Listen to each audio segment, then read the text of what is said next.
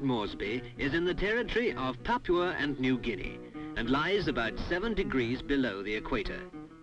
It's a strange place where the unexpected often happens. For instance, the afternoon the box arrived. A box whose contents were to alter the whole concept of oil exploration. It was a very large box, certainly the largest ever seen in Port Moresby, and it caused much speculation and comment. Slowly, it was hauled away to its first destination, the headquarters of an oil company, a few miles distant from the town.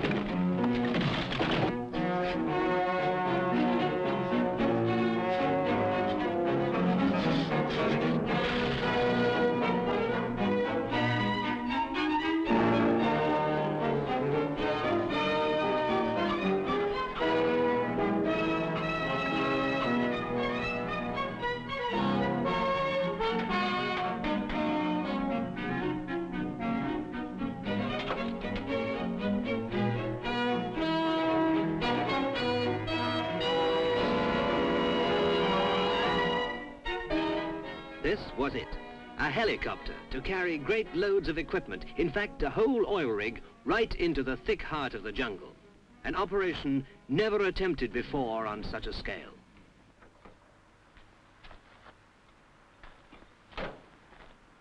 How's it going? Okay, just off on test. Think she'll lift nearly two tons? She doesn't, we're in dead trouble. First time a lift of this size has been tried by helicopter. Everything from the draw works to a packet of vitamin pills. How much altogether? Over 2,000 tons.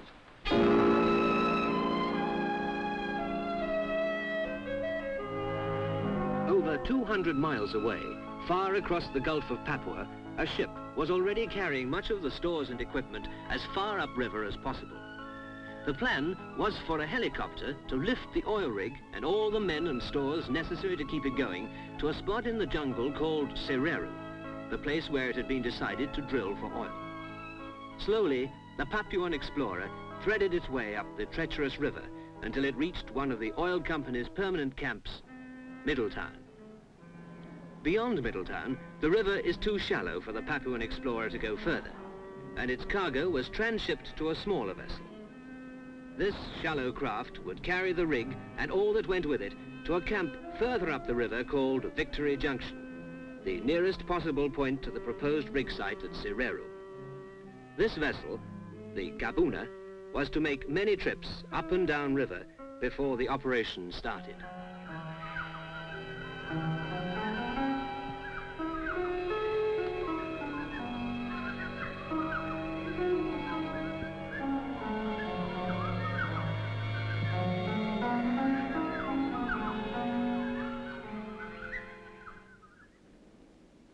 At Victory Junction, a small camp had already been established. Here would be the base depot for everything. Here, much of the machinery required would be broken down into convenient loads for the helicopter. A thousand loads, two tons at a time. Here, men would work in the stifling heat until the operation was completed.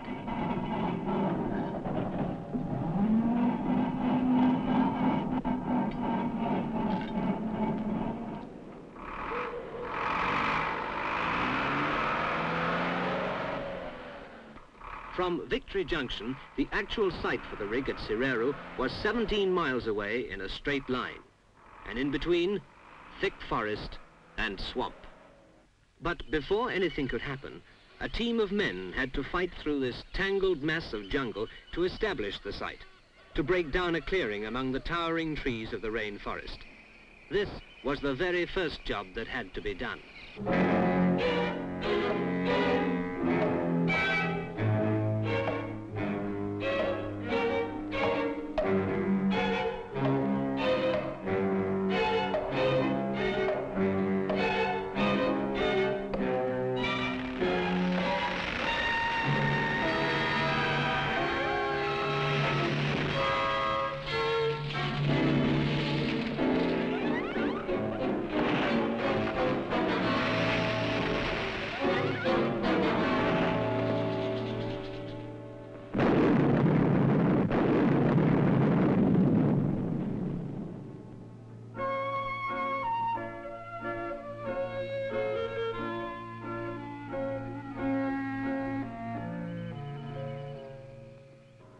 Papuan weather is unpredictable. Good flying conditions can turn to thick storm in a matter of minutes. So apart from the main clearing at Sereru, emergency clearings had to be made every mile in a straight line between Victory Junction and Sereru. In case of trouble, the pilot could safely put down the helicopter in a few seconds. And now came its first job. 17 tons of bulldozer, which had been broken down into its various parts to be flown in to finish clearing and leveling the rig site at Sereru.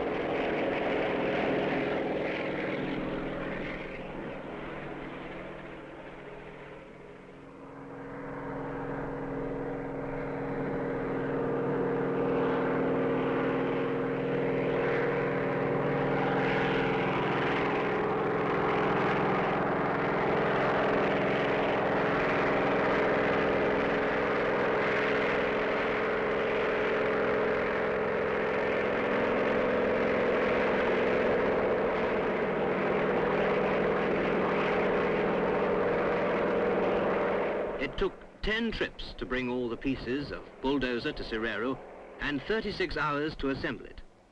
Pushing and tearing at tree stumps and boulders, it started to level the man-made clearing in the forest.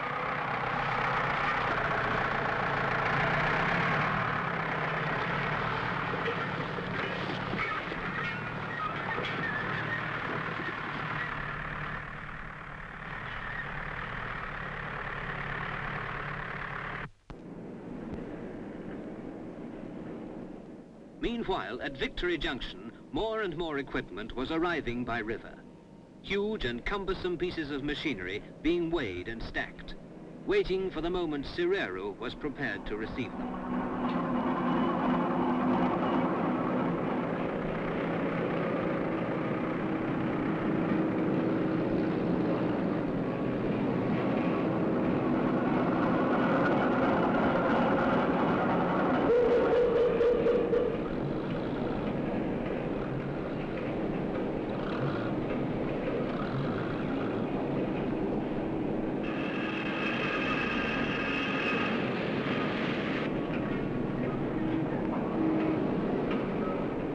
And at last, everything was ready. The helicopter would be tested to maximum effort. The big lift was about to begin.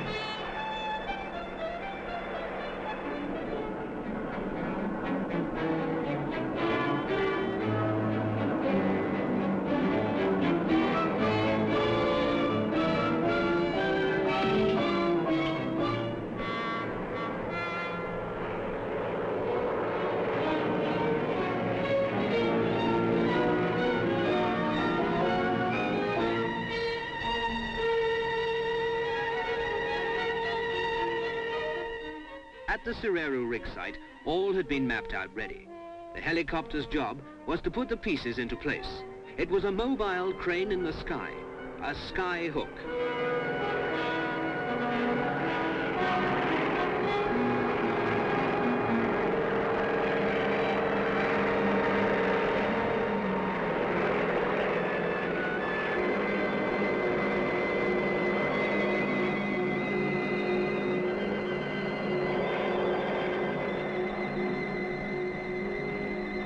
Pieces fell into place so fast at Serero that the men at Victory Junction were often hard put to keep pace.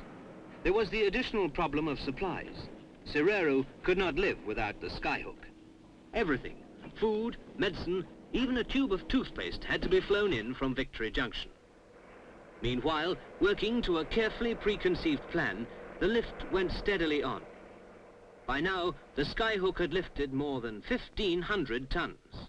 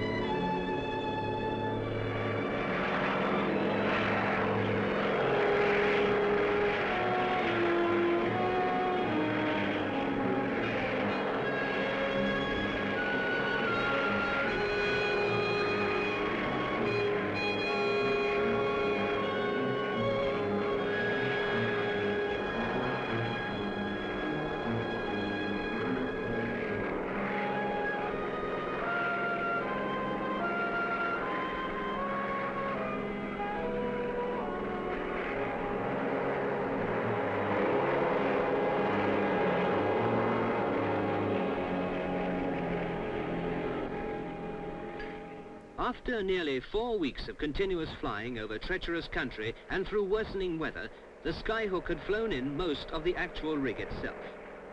The Skyhook had established Serero in a fraction of the time it would have taken to build a road, even if road building had been possible in such territory and under such conditions. The scheme was nearly complete. The men at Serero, Europeans and Papuans, finished the giant assembly and a few days later, the mast was ready to be raised to the drilling position, pulled up to the sky by the power of its own engines. Engines which only a short time before the Skyhook had flown in, two tons at a time. This was a crucial moment for the oilmen.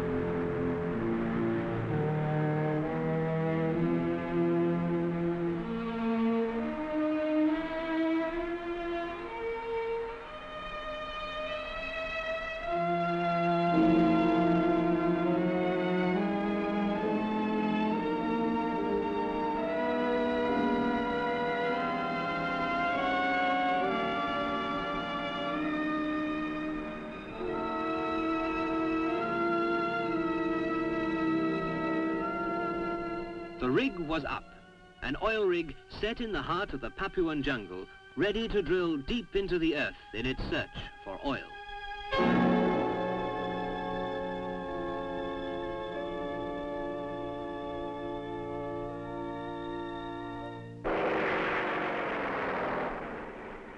And while the oilmen at Serero drilled, the skyhook would be there, feeding and maintaining them for as long as the camp existed. And not only at Serero, but at other inaccessible sites on the map with strange names like Buaka, Era, or Komewu. Isolated corners which only a helicopter can reach. The helicopter is giving a new look to oil exploration in the remote places of our world.